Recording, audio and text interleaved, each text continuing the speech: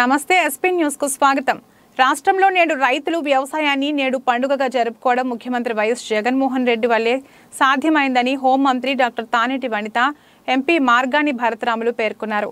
శుక్రవారం ఉదయం లాలా చెరువు ప్రాంతంలో వైఎస్ఆర్ విగ్రహం వద్ద నిర్వహించిన వైఎస్ఆర్ యంత్ర సేవ పథకం మెగామేళా టూ పాయింట్ జీరో కార్యక్రమంలో ముఖ్య అతిథులుగా హోంమంత్రి తానేటి వనిత ఎంపీ భరతరాములతో పాటు జాయింట్ కలెక్టర్ తేజ్ భరత్ తదితరులు పాల్గొన్నారు. తొలుత సభావేదిక సమీపంలో ఉన్న వైఎస్ఆర్ విగ్రహానికి పూలమాలలు వేసి నివాళులర్పించారు. అనంతరం జ్యోతి ప్రజ్వలన చేసి కార్యక్రమాన్ని నిర్వహించారు. ముఖ్య అతిథి హోంమంత్రి డాక్టర్ తానేటి వనిత మాట్లాడుతూ గత పాలకుల సమయంలో వ్యవసాయాన్ని దండగా అంటే జగనన్న ప్రభుత్వం గత నాలుగేళ్ళ పాలనలో వ్యవసాయాన్ని పండుగగా చేసి రైతులు సంతోషంగా ఉండేలా చర్యలు తీసుకున్నారని పేర్కొన్నారు. రైతులు సకాలంలో పంటలు వేసేందుకు తగిన సూచనలు సలహాలు ఇచ్చేందుకు గ్రామ స్థాయిలో ఆర్బీకేలను ఏర్పాటు చేశారన్నారు. ముందస్తుగా ఖరీఫ్ సాగునీటిని విడుదల చేయడం ద్వారా అక్టోబర్ నవంబర్ నెలలో వచ్చే తుఫానులు వరదల బారిన పంటలు పడకుండా పంటను రక్షించడం సాధ్యమైందన్నారు. ముందుగా పంట వేయడంతో సకాలంలో నూర్పిడి చేసి కొనుగోలుకు ఆస్కారం కలిగిందని మంత్రి తెలిపారు. వారికి సపోర్ట్ చేస్తున్నారో మనం చూస్తున్నాం. అదేవిధంగా ఈ రోజున మరి రైతులు పొలంలో వ్యవసాయం చేసుకోవడానికి వారికి కావాల్సిన యంత్రాలు. మరి గుంటూరు డిస్టిక్లో ఈ రోజున లాంచ్ చేయడం జరిగింది. అంటే గత ప్రభుత్వాలంతా కూడా వ్యవసాయం దండగానే చెప్పారు. కానీ మన ప్రభుత్వం వచ్చిన దగ్గర నుండి మనం రైతన్నలకి ఏ విధంగా అండగా ఉంటున్నాము ఏ విధంగా వాళ్ళని వ్యవసాయం చేసుకోవడానికి ఎంకరేజ్ చేస్తున్నాం అనేది ఒకసారి చూస్తే జగనన్న రైతు భరోసా కేంద్రాలు తీసుకొచ్చారు.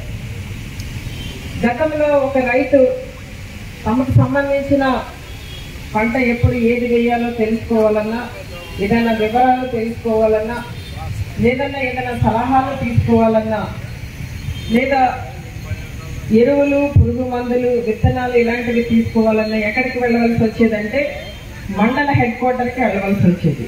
ఆ మండల హెడ్ క్వార్టర్లోనే ఒక చోట మాత్రమే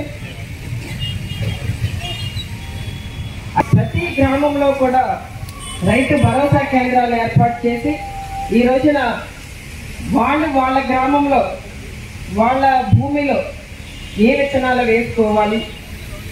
ఎప్పుడు ఏ ఎరువులు వేయాలి? ఏ పురుగు మందులు కొట్టాలి అనేది సలహాలు ఇచ్చేందుకు రైతు భరోసా కేంద్రాలు ఏర్పాటు చేయడం అందుబాటులో తీసుకురావడం అక్కడే మరి వాళ్ళకి కావాల్సిన అగ్రికల్చర్ అసిస్టెంట్ని కూడా ఇవ్వడం జరిగింది. మరి ఈ రోజున రైతన్నలందరూ కూడా ఎంత చక్కగా వ్యవసాయం చేస్తున్నారంటే రావలసిన అంటే ఒక ఎకరాకి ఒక నలభై ఎకరాల నలభై బస్తాలు పండాలనుకుని కష్టపడి వ్యవసాయం చేస్తుంటే ఈ రోజున దానికి రెట్టింపు ఈ రోజున వస్తుంది. అంత చక్కగా వ్యవసాయం చేసుకునే విధంగా ఈ రోజున జగనన్న వాళ్ళు ప్రోత్సహిస్తున్నారు. విత్తనం దగ్గర నుండి విక్రయం వరకు కూడా ప్రభుత్వమే బాధ్యత తీసుకోవడం జరిగింది. మరి వరదలు వచ్చిన వానలు వచ్చినా ఏం వచ్చినా కూడా తడిసిపోయిన ధాన్యాన్ని కానీ మొలకలు వచ్చిన విత్తన ధాన్యాన్ని కానీ లేదా రంగు మారిన ధాన్యాన్ని కానీ ఈ రోజున రైతు భరోసా కేంద్రాల ద్వారా మన ప్రభుత్వమే మన జగనన్నే కొనుగోలు చేసే విధంగా మరి చర్యలు తీసుకోవడమే కాకుండా వాళ్ళకి సకాలంలో వాళ్ళకి ఇవ్వాల్సిన డబ్బులు కూడా వాళ్ళకి ఇవ్వడం జరుగుతుంది. ఈ రోజున మరి నాణ్యమైన ఉచిత కరెంట్ ఇస్తున్నాము. అంతేకాకుండా పెట్టుబడి పెట్టడానికి ముందుగానే రైతు భరోసా పథకాలు ఇస్తున్నాం. అది నిన్ననే ఇవ్వడం జరిగింది. సకాలంలో మరి సాగునీరుని కూడా ఇవ్వడం జరుగుతుంది. అది కూడా నిన్ననే మనం నీరు వదలడం జరిగింది. అంటే జూన్ ఒకటో